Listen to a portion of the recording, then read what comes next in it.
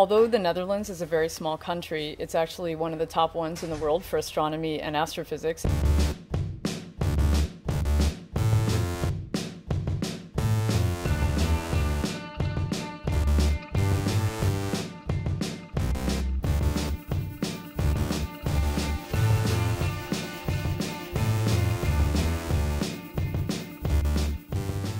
At the University of Amsterdam, our specialization is roughly what we call the life cycle of stars. For the research projects, students can basically specialize in anything they like across the range of either more uh, what we call observational or experimental projects to theoretical. Most of the time you're making models in your computer and then uh, once or twice a year you uh, go and uh, observe.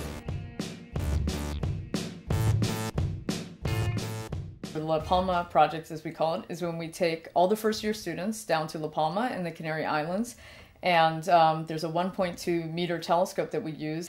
And the idea behind this is to show students what it's like to actually do real science. And being reality, there's always a problem, maybe bad weather, some technical issues, um, but then they have to correct for this, think on the fly, and eventually come up with a decent project completion. The excursion to La Palma was a unique experience to uh, write your own proposal for research and then actually go to La Palma yourself and in uh, one week uh, do all the measurements. By uh, looking at the spectrum of high mass star, we investigated the mass transfer between this high mass star and a black hole. The style of teaching here at the University of Amsterdam is, I think, uh, really interactive and uh, teachers uh, really encourage students to uh, ask as many questions as possible.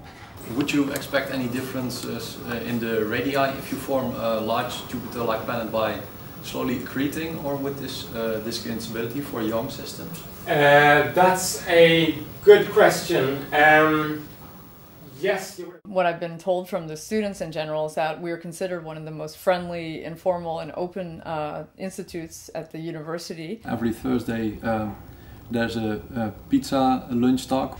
Uh, sometimes it's astronomy related, sometimes it's uh, not. There's a real atmosphere of work hard, play hard here. Most of the students who finish a degree here often go into science doing a PhD of one kind or another, uh, but that's not necessary at all. And we find that a lot of our graduates also go on to work for, for instance, consulting companies, government agencies. It's a challenging program, so you don't have a lot of spare time, but in the weekends I play some music in a band and I'm going to give uh, guided tours at the planetarium. People generally don't like to leave. We have to sort of throw them out at the end.